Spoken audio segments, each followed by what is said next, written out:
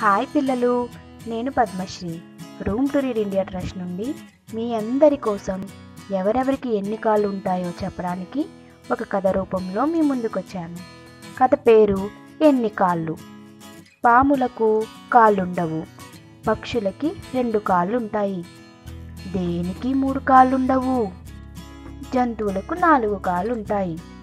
కొన్ని నక్షత్ర చేపలకి ఐదు కాళ్ళుంటాయి. చీమలకైతే ఆరు.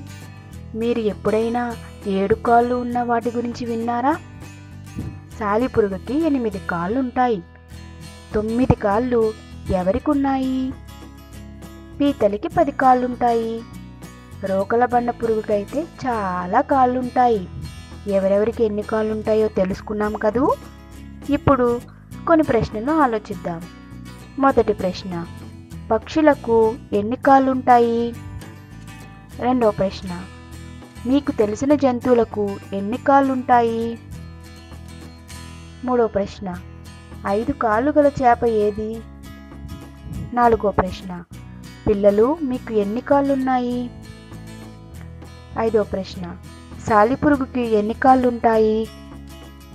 కథ బాగుంది కదూ పిల్లలు. మరో సరికొత్త కథతో మళ్ళీ కలుద్దాం. Thank you.